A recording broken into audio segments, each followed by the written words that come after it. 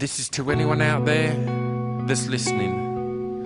From everyone that ever let you down and went missing.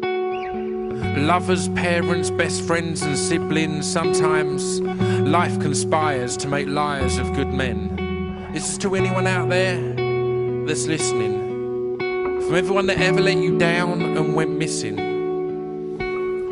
Lovers, parents, best friends, and siblings. Sometimes life conspires to make liars of good men. I'm sorry I wasn't who you thought I was. Fuck it. I'm sorry I wasn't who I thought I was.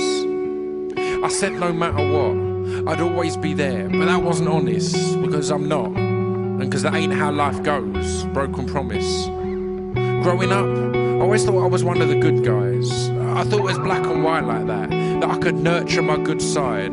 But after it was hurt and I've stripped pride, both on the surface and inside. I wasn't cursed with a dark side, I was just normal.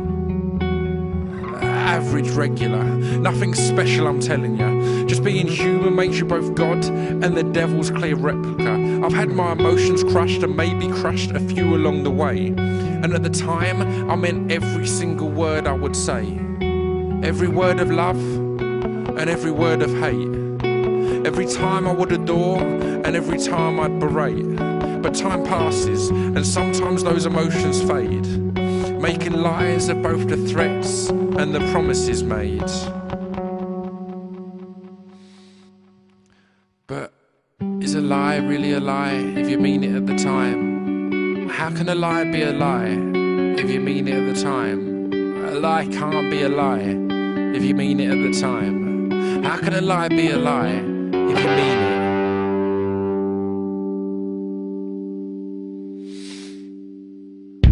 This is to anyone out there that's listening.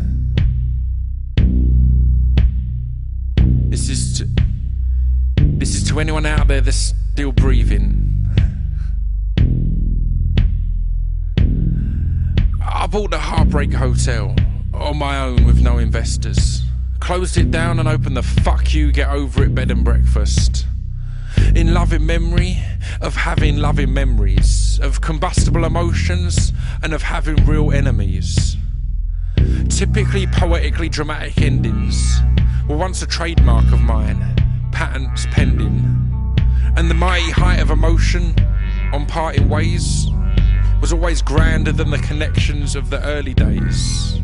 When we were fighting, there used to be thunder and lightning, ferociously frightening, a clash of the titans, emotions heightened, every single muscle tightened, an addiction to the thrill of the fight, the excitement.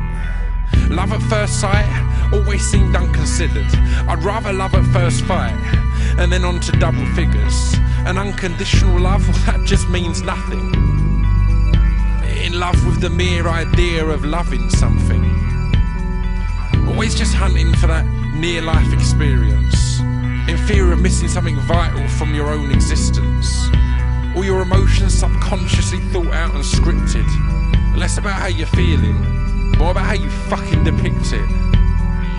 But all that stops when one day you just decide to stop playing along. That point in time when the most amazing things in the world can just as easily seem pedestrian. You've lost both that loving and that loathing feeling. Turns out hell does have a bottom and heaven a ceiling. Both love and hate become opaque in time's wake. A face that once summoned rage now summons nothing. Whether it's emotions tethered, nerve endings severed, or just the outlook you acquire when you're a little more weathered. Remaining conscious of this all, and in a way feeling above it. It still feels like bad riddance to good rubbish, but is a lie really a lie if you mean it at the time? Ah, how can a lie be a lie if you mean it?